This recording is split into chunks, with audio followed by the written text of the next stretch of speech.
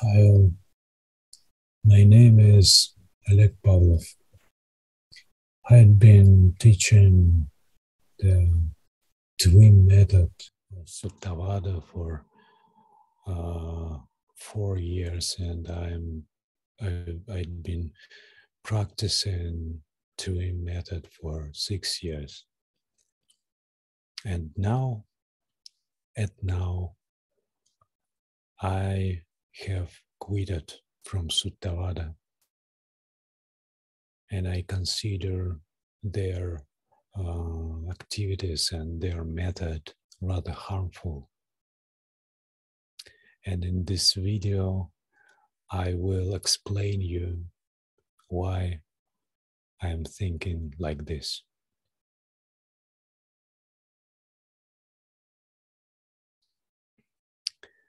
I do this video for two reasons. Firstly, I would like to help people to avoid the harm from Suttavada. Just consider what I'm going to tell you and try to understand if it is relevant. And secondly, I'm doing this for my former teachers in Suttavada, for Bhante Vimalaramsi, for David Johnson, for Khanti-Khema, because I believe and I want to believe that they are good people actually. Maybe they are mistaken but they have the best motives.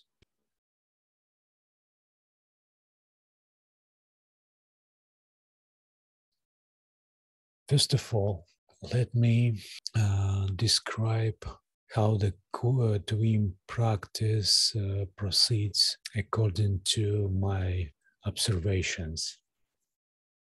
You see, I am I was a teacher and I studied a lot of people and I have contacts with a lot of people who studied with another teachers. And that was, I think, several hundred or maybe more than thousand people. For all these years, I haven't met any exceptions for, from uh, these observations.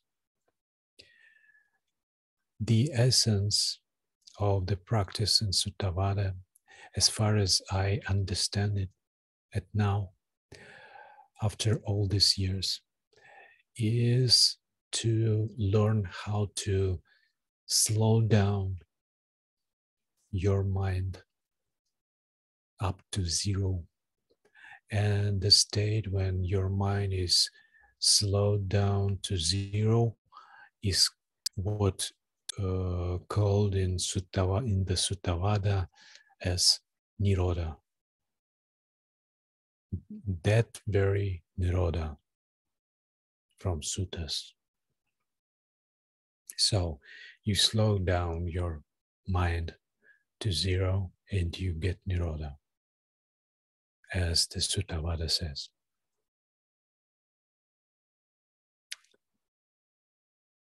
Of course, they declare that their purpose or goal is to study how our mind works. But we'll see later that this goal uh,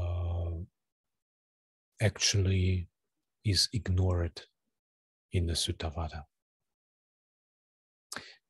So all practitioners in Twim can be divided in two groups. The first ones are those who um, fail to slow down their minds to zero. They try but they just fails. Some people just cannot stop their mind, cannot slow down it to zero. And other group are those who uh, are successful in this process and they managed to get to the uh, zero slowing down their mind. And the first group has their practice uh, which is just stopped on, on the one level. And the other group are told that they uh, get uh, some achievement, some stage of enlightenment after they get to Nirodha.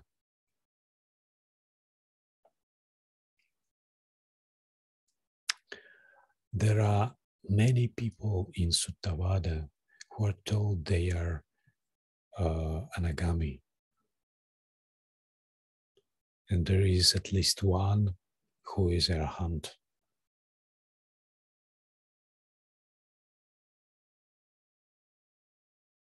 In every retreat, maybe one third of people, of participants, are uh, told that they are Sotapanna or Sakadagami or Anagami.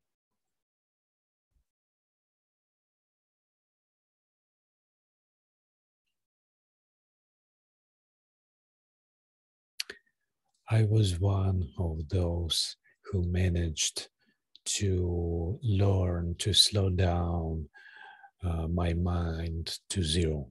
I can do that. I can slow my mind to zero. The trick here is to uh, maintain a, a little level of awareness until the end, until the zero slowing down. Because if you fall asleep, you cannot uh, slow down your mind because the sleeping is an active uh, state. So I can describe it. Uh, I'm sitting, there is no drowsiness, I calm down more and more, letting go of everything. And at some point, it's all just shut down. It's complete shutdown, just off. After a while, I turn on uh, again and see this world again. And uh, first moments, I don't understand where I am, and I don't understand how much time has passed. First moments, and um, it seems that this world is reloaded this moment and even I stayed in this state for several minutes, I feel very refreshed. And uh, my teachers testified this state as Nirodha. So for me now, this state is quite usual daily state. I can enter this uh, almost any moment, maybe for uh, after maybe five or ten minutes of sitting. The problem here is that this is not the Nirodha at all.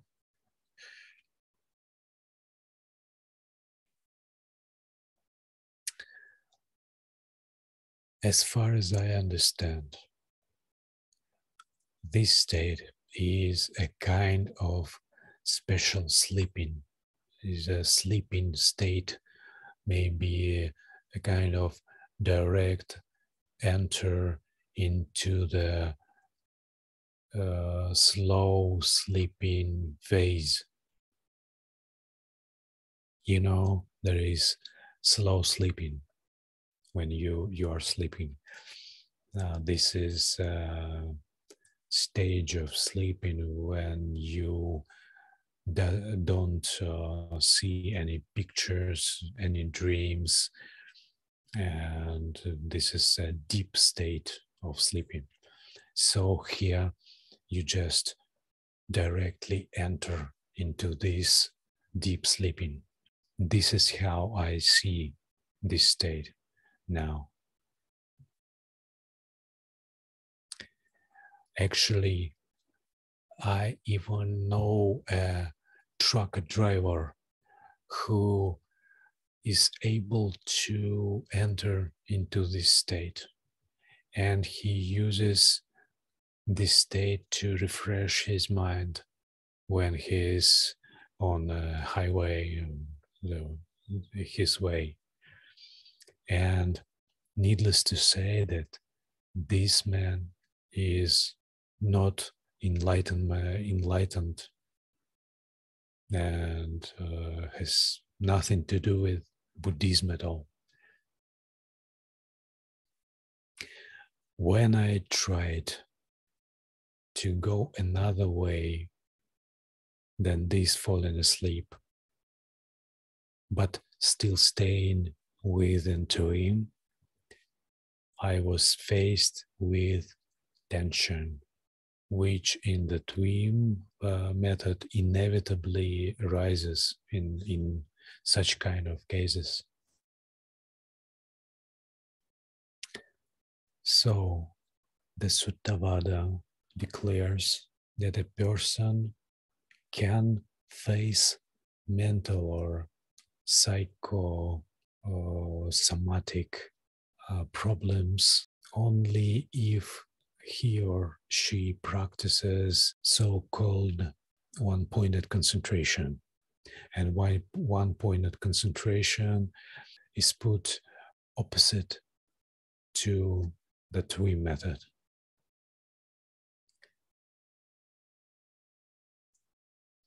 I will not go now um, to the thesis that the very dichotomy, uh, you know, one point in concentration vice TWIM is absolutely, you know, false dichotomy. I just I'm not going to go in in into this uh, theme now, but I can assure you that these problems, mental problems, and psychosomatic problems occurred in, in the TWIM not less often than in any other Buddhist school. One pointed concentration.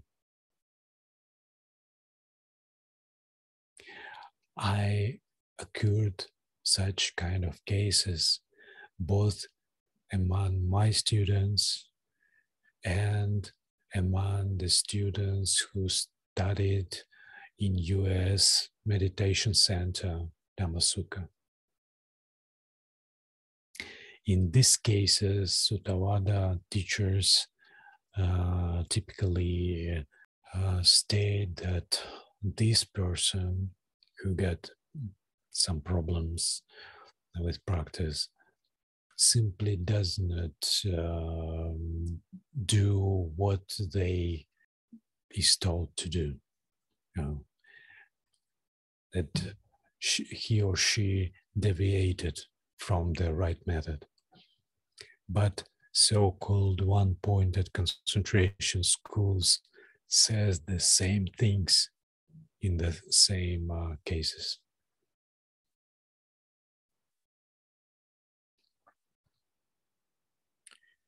Now, let's talk about the doctrinal stuff, doctrinal basis of the Suttavada.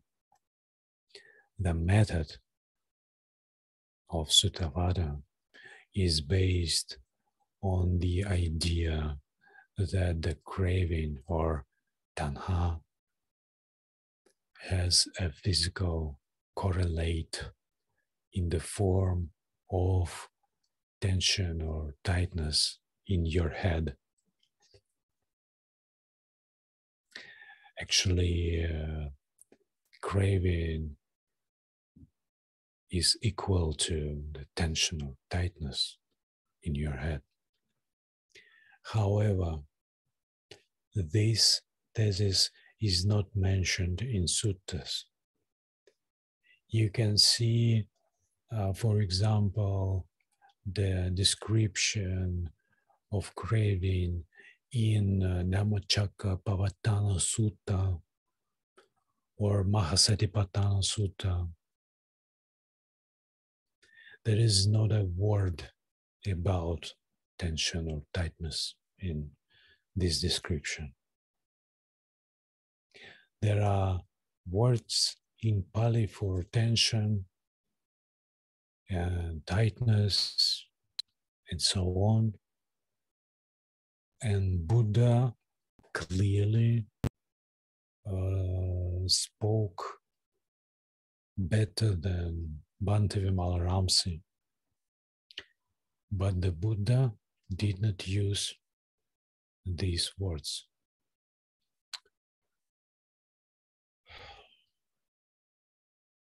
Bhante Vimalaramsi also links uh, the tension and tightness in our heads with the bodily formations in suttas, which mentioned uh, in uh, the descriptions of uh, anapanasati meditation and he says that the bodily formation is the tension and tightness in your head.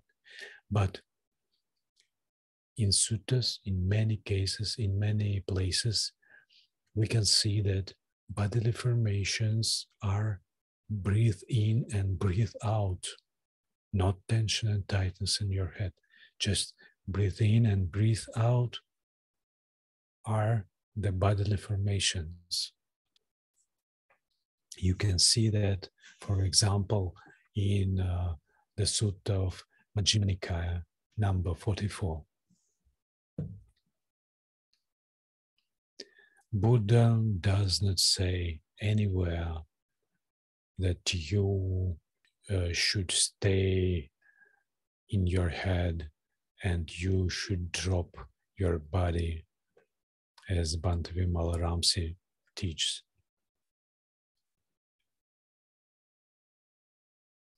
Again, the Buddha knew all these words. And Buddha was extremely skillful in speaking, in, you know, speech. And nevertheless, he did not use these words. But Bhante did.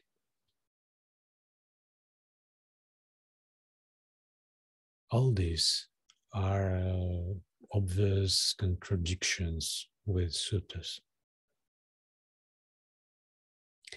From the basic idea that craving is equal to the tension and tightness in your head stems the next thesis that the relaxation is very important, is crucial, and uh, stems the method of six R's. Suttavada declares that the method of six R's is nothing but the right effort from the Eightfold Path. Or as they translated this term, the harmonious exercise, not the right effort, but the harmonious exercise. And I will also tell you how wrong this kind of translation as well. I do this, this later. If we read the suttas, if we read the definition of the right effort, for example, in the above mentioned two suttas, Dhammacakkappavattana or Mahasatipatthana suttas, we can see that the right effort is actually effort, is actually the diligence. No relaxation, just effort and diligence.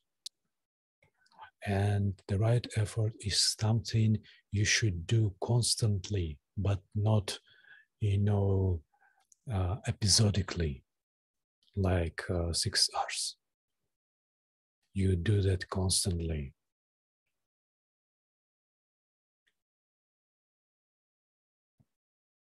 Again, there are all these words in Pali there is relaxation in Pali language.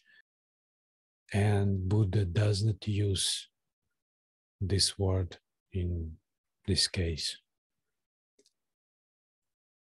And Bhante says that relaxation is passambhayati, but passambhayati is not relaxation.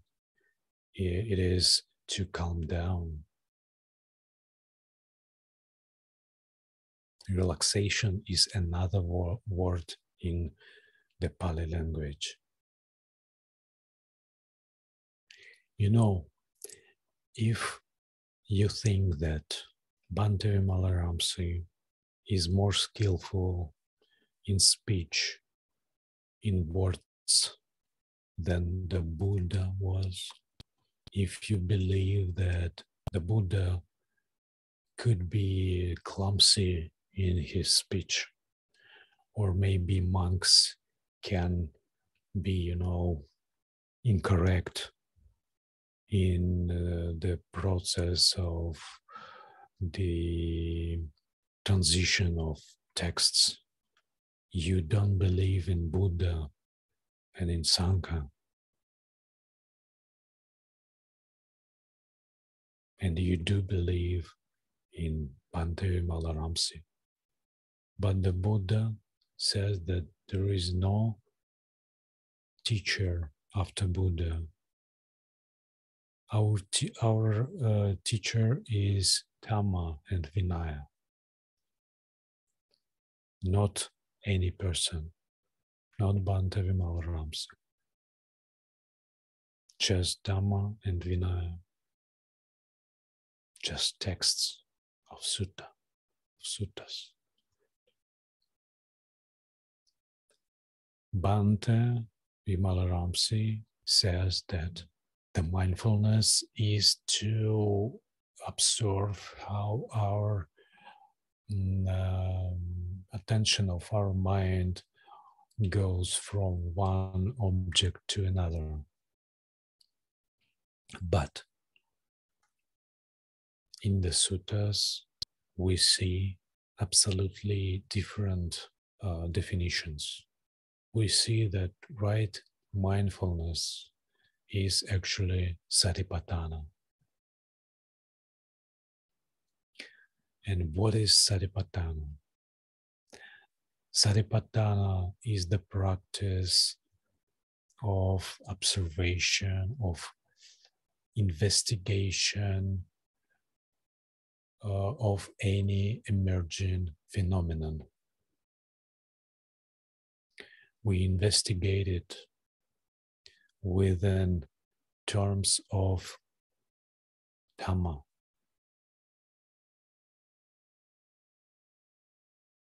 And we investigate pain, we investigate suffering, we investigate dukkha. Because the first noble truth is dukkha. They say the first noble truth is there is suffering, but actually in suttas uh, we can see that suffering is all our existence. And Buddha says that this first noble truth must be uh, studied, must be investigated.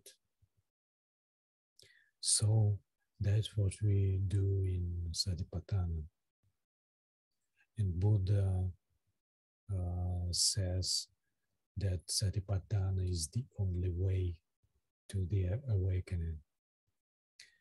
However, what we are doing in the Suttavada, we use six R's.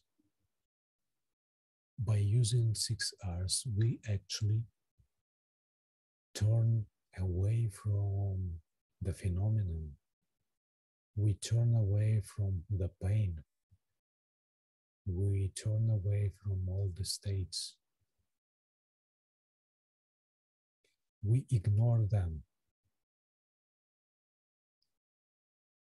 Bhante Vimalaramsi himself says that the avidya, ignorance, is fundamentally ignoring.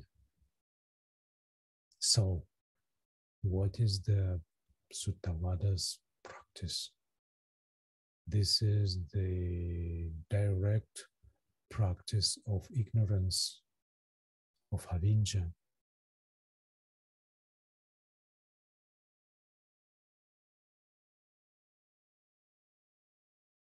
actually we don't uh, realize the four noble truths we go an opposite way actually.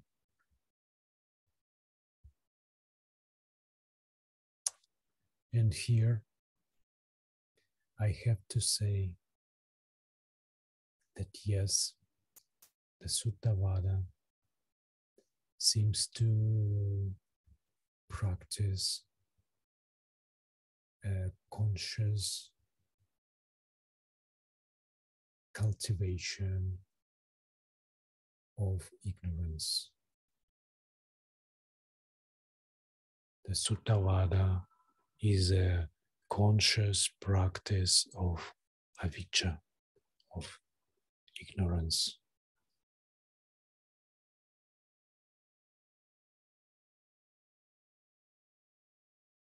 this is an opposite uh, thing to what the Buddha taught in suttas.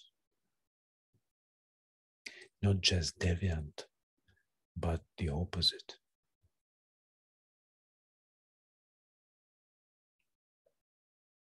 And Bhante says that karma is pleasant, pleasant in the beginning, pleasant in the middle, pleasant in the end. And obviously, he means by that the Pali word kalyana, but kalyana is not pleasant. Kalyana is morally good, beneficial,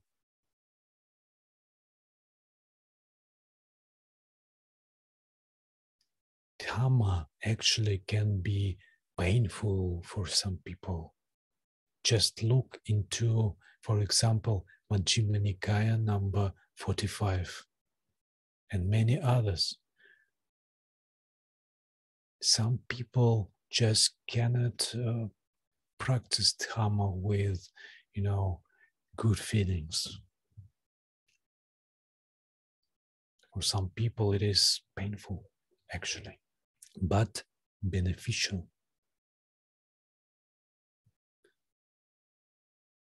If a person can practice uh, with uh, pleasant feelings in Suttavada, he or she finally falls asleep.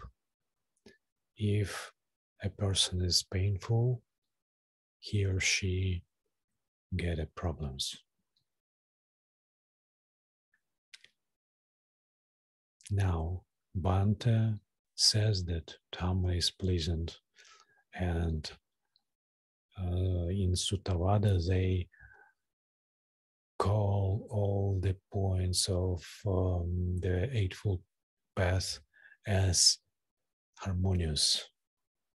Or Delson Armstrong uh, calls it effective, harmonious or effective.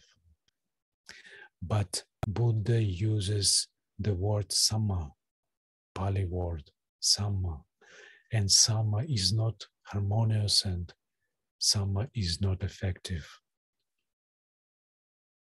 Sama is right, sama is righteous.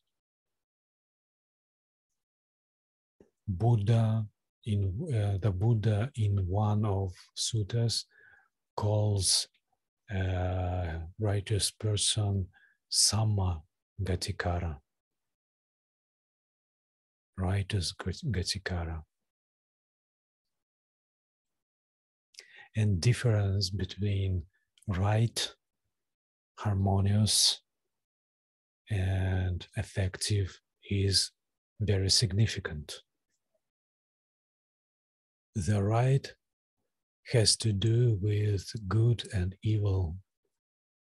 Avoid evil, cultivate good, and purify your mind. This is Dhamma.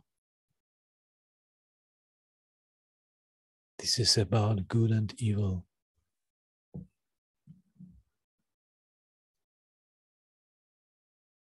If you uh, follow the right and use the rock on your your way.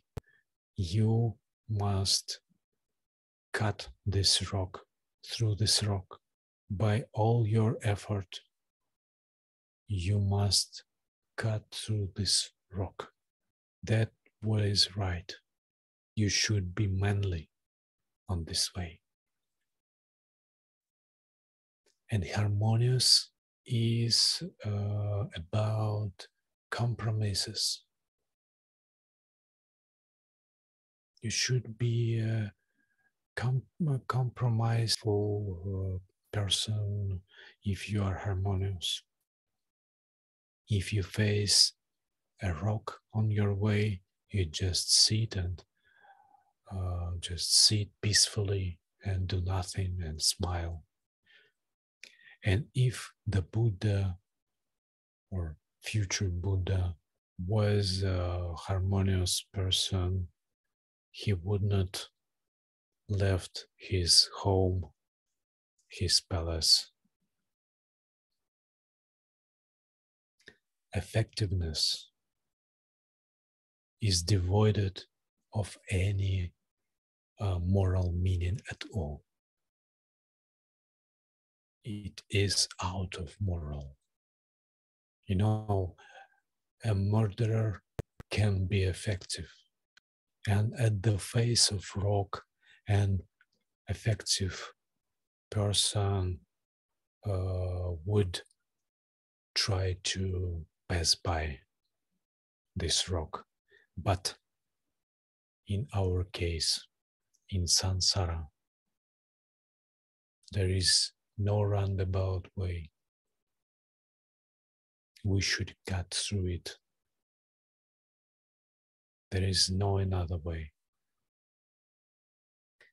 This kind of distortion, all these harmonious and effective so on, lead to moral, a kind of moral um, you know, ambivalence or moral ambiguity. Precepts are needed in Suttavada just to have your meditation peaceful and pleasant and so on. You just run away from the pain.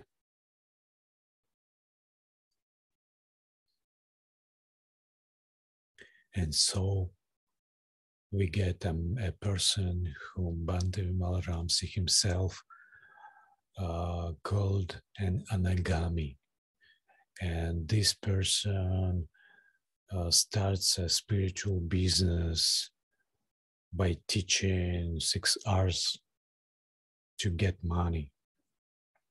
And we get uh, another person who was told he is an anagami as well. And he smokes and drinks and uh, likes delicious food. And these are real cases. Compromises.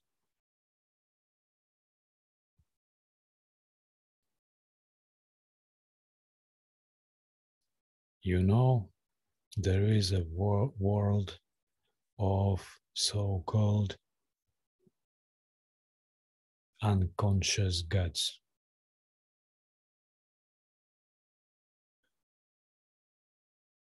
This is absolutely not the liberation, absolutely not the awakening. It's just a kind of state of, you know, of shutdown. And I suspect that if you are uh, successful in the TWIM, in the Suttavada practice, and you can stay in their quasi nirodha more and more, you are going to be born in this wor- world, the world of unconscious gods. And according to Buddhism, when your life will end up in this world of unconscious God and gods, you will fall down into the very lower world's realms. This is not a human realm that will be a realm of, you know, some beings like primitive animals or microbes.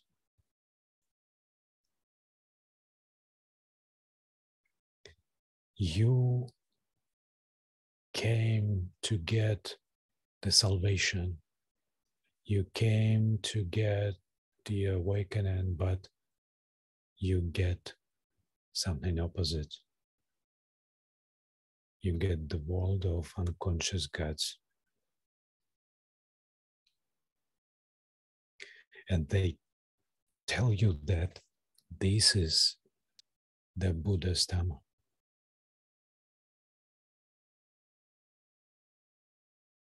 And now my dear ex teachers, just think what you are going to get if you say that this kind of practice is the Buddha's Dhamma. Guys, you are going to hell.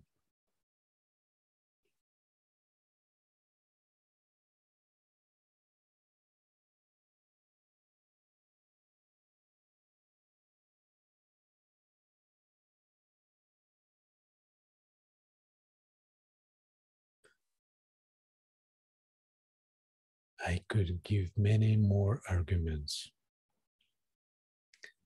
both in the doctrine uh, on the jhanas, on the suttas, on the forgiveness meditation that is a separate uh, topic. But I'm not going to evolve all these topics right now because I think that what had been said is just enough. Just enough for you to think.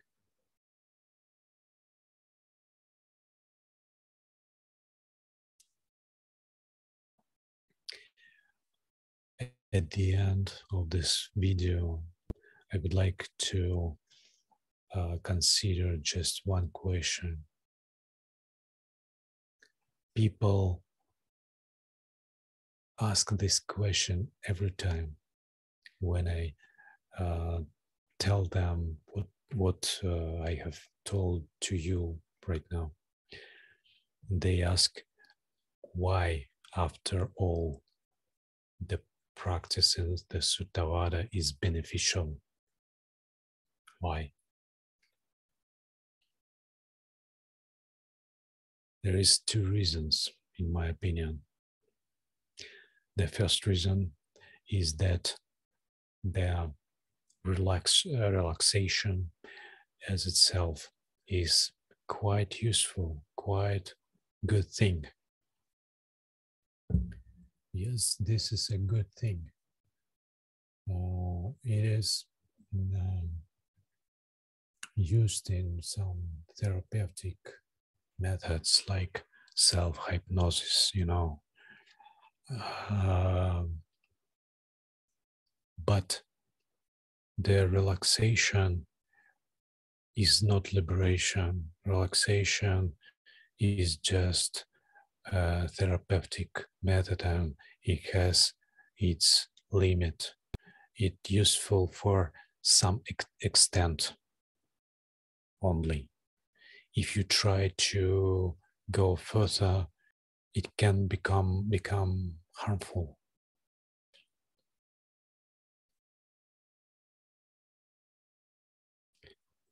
And anyway, again, the relaxation has nothing to do with the awakening, the Dhamma.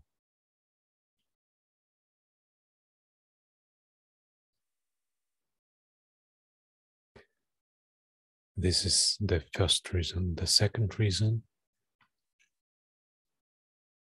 is that they in Suttavada use Brahma Viharas in TWIM. And Brahma Viharas are extremely beneficial method. Is it, it is uh, difficult to spoil by anything. It will be uh, beneficial anyway.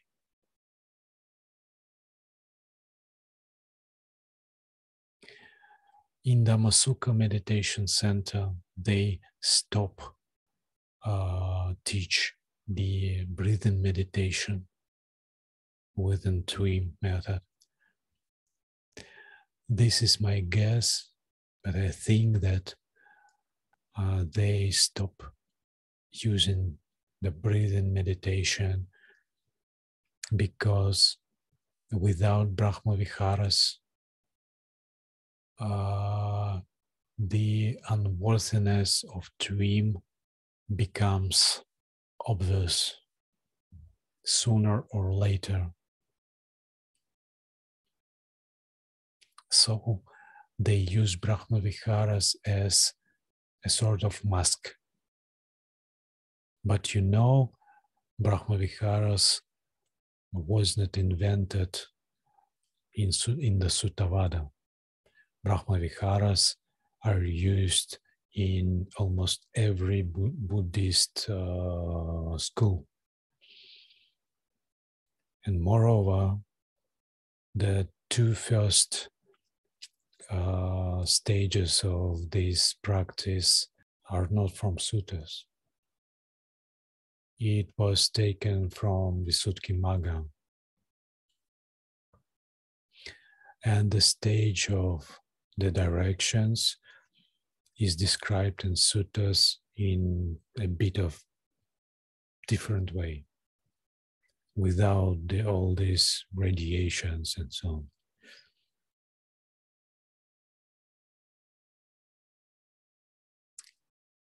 For this, let me take my leave. I wish you all happiness, people. I apologize if my activity has caused any one of you harm or distress. May all living beings be happy. Thank you.